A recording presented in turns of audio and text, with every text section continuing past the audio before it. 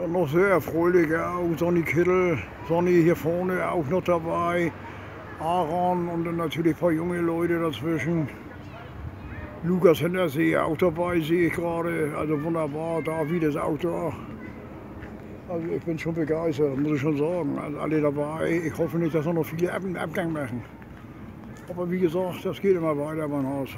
Braucht ihr gar keine Angst haben. Und das schwenke ich mal um. Unsere Torleute auch wieder ganz fleißig da. Auch alle dabei. Also ich bin begeistert im Großen und Ganzen. Schönes Wetter, schöne Sonne.